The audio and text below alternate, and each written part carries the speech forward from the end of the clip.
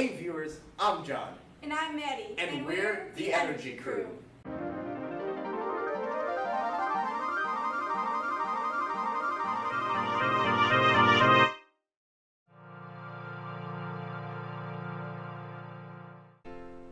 Oh no! There goes my favorite hat!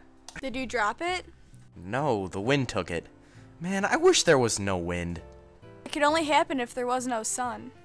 What does the sun have to do with wind? Well, have you ever felt warm wind? Mm, yes? And have you ever felt cold wind? Yes, so? And which is heavier? Neither. It's air. Wrong. Cold air is heavier. Is that why hot air balloons float? That's absolutely right. So when the sun heats up cold air, it floats up? Yes, and this newly heated air rapidly displaces the other air, causing wind. Okay, so when we capture this energy and convert it into electricity, it's technically solar energy. Technically, yes, but we call it wind power. That's with the windmill looking things, right? Yeah. The ones that have, on average, three to four blades that are slanted like airplane propellers, so when the wind blows, they spin? Yeah, but do you know what happens after that? I think. Aren't these propellers connected to an axis that is connected to different gears that spins a turbine, generates electricity? Yeah, but what did you say about gears? Well, if you alter the gear ratio, you can generate more electricity. How does that work? If you have a 1 to 1 ratio, there's no change. But if it changes to a ratio of 2 to 1 or 3 to 1, where the first gear becomes bigger than the second, the speed of the turbine increases.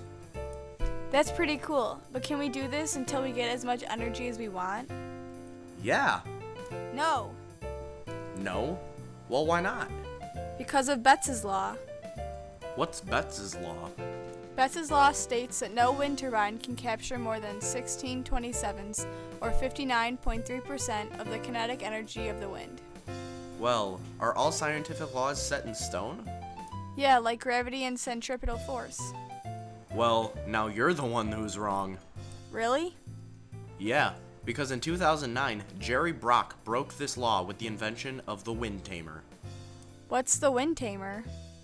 The wind tamer is a funnel shaped wind turbine that is like traditional turbines, but it uses a diffuser system. This diffuser system creates two vacuums, one behind the blades and one behind the turbine, and these vacuums pull the air through the system, therefore creates twice as much electricity that a traditional turbine makes. Is that the only reason it's better? No, some other ways that make it better is because it works at low speeds, it can be short, it doesn't harm birds, it's very quiet, and it's cheaper. Well, I hope we start seeing this in the future. Me too. So is America number one in wind? No, America's number two at about 61 gigawatts, or 61 billion watts. So who's first then? Surprisingly, China at 91.5 billion watts.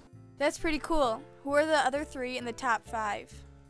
In third is Germany at 34 gigawatts, fourth is Spain at 23 gigawatts, and fifth is India at 20 gigawatts.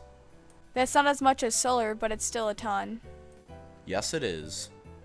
Are there any other technologies like the wind tamer? In fact, there are. Make sure to be back here next week for our Tech of the Future video, Wind Edition.